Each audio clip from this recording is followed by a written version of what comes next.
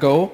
Um, and I just wanted to announce and, and, and, suggest people, especially beginners, tomorrow my talk at 12.10 in the booking.com room, because it's uh, definitely something where you can do after the talk directly something for a live product, for a live system.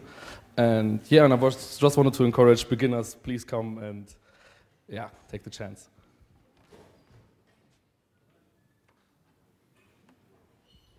Thanks.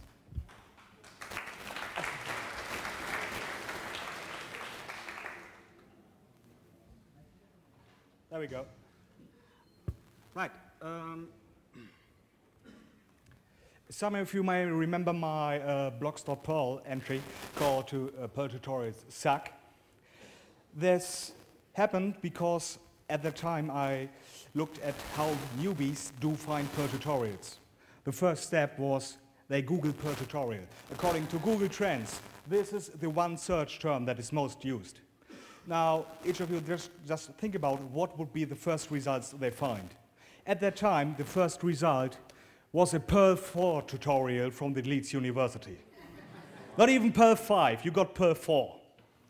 So that had to be solved. I made a bit of fuss about it, but I also made a solution.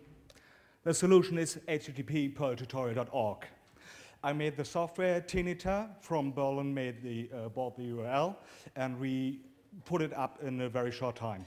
What perltutorial.org is, it is a wiki that is backed by GitHub.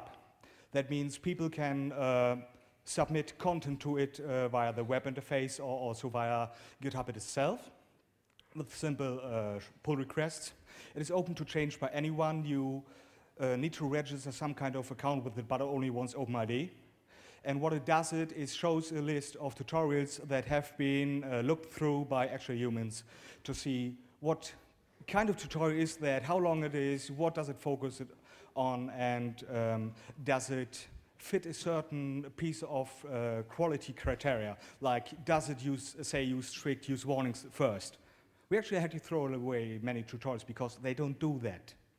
So um, people who write tutorials can now very easily announce their new tutorials to newbies who are looking for Perl tutorials because it works naturally. So, the main thing is we're only two people and we need a lot of help because there are a lot of tutorials out there that need, need to be looked through. So if you have some time, if you are interested in helping newbies and uh, Perl, the Perl community as a whole, please go to the site, look at the tutorials that haven't been linked at yet, check out what kind of data they uh, contain and add them to the table. Um, and if you have a website that has anything to do with Perl at all, please link to perltutorial.org so it will get more Google juice and newbies will be able to find it easier.